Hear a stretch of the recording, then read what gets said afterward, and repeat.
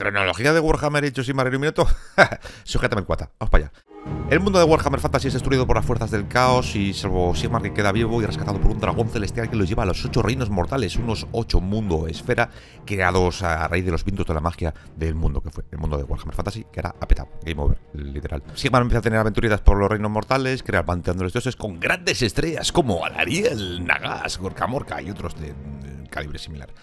Llega el caos, empieza a liar la parda, el, panteón de los dioses se divide, Sigmar se retira a Azir, al reino de los cielos, para acabar su proyecto de Storkas Eternal. Al final consigue acabar el proyecto, más o menos.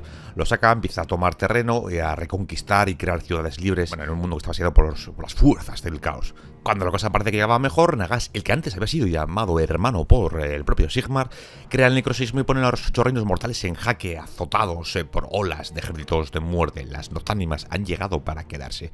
Y poco después también llegarán los osiarcas, después de mandar a Olinder, la mortarca de los Nethound, de los, las noctánimas, a recuperar a Garacross, un nuevo mortarca que regirá las legiones de los osiarcas, los cuales pondrán en jaque el mismísimo Archaón en una lucha sin cuartel en todas partes, de las cuales hasta el día de hoy todavía no se ha resuelto. Nagas, no obstante, será detenido finalmente por Tekris, los Luminet y las ciudades de Sigmar en una batalla sin cuartel en la que Nagas se pelea con todos solo, es un poco prepotente y obviamente acaba perdiendo. Pero por si esto fuera poco, en segundo plano tenemos a Morazi ascendiendo a la divinidad después de haber liberado un fragmento de alma de Slanes al pegarle unas puñaladas y demás.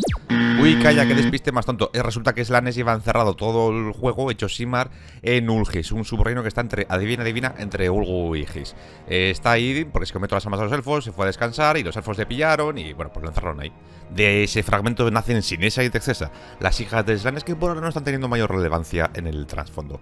Mientras tanto también tenemos una gran batalla en Excelsis, donde Kragnos, el dios de la destrucción, una especie de centauro gigante que todo el mundo creía que era la bestia del caos, pero al final era de los orcos, o bueno, de la destrucción en general, asalta junto a Gordra, con que tiene un duelo previamente, esta ciudad, dejándola hecha a trizas. Eso sí, esa ciudad es defendida férreamente por Croak Morazi, a pesar de haber traicionado a Sigmar invadiendo una de sus ciudades y toda la gente que estaba por allí. Tras estos hechos se dan a conocer a los Mandamalos, una nueva especie de clan Orruk más astuto que brutal, que mm, anda con veneno y hace muchas mortales. Y así las cosas en el reino de Gulto está patas arriba, donde la destrucción está causando, pues eso, destrucción. Y las fuerzas del orden empiezan con las cruzadas por amanecer. Unas GG, cruzadas eh, lideradas por Sigmar Ciudades Libres para intentar edificar ciudades en los devastados reinos mm, que están azotados por la destrucción y por el caos. Y por último, a día de hoy, que tocará actualizar este vídeo algún día, pues tenemos a Belacor en guerra civil con Archaón, que le ha robado prácticamente la Paranguar. ¿Y por qué? Porque Archaón, digo Belacor, la lió pardísima cuando ocurría todo esto de Kragno reventando Excelsis y demás, creando unas tormentas que impedían que los Storkas volvieran a Cir a ser reforjados. Lo cual fue muy bien visto por los dioses del caos y dijeron, este chaval mola mazo.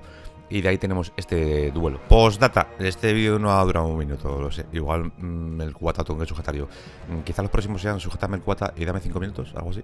Y básicamente hasta aquí llega día de hoy, a finales de 2022, el trasfondo, la cronología de Ichoshimar. Continuaremos pues igual el año que viene.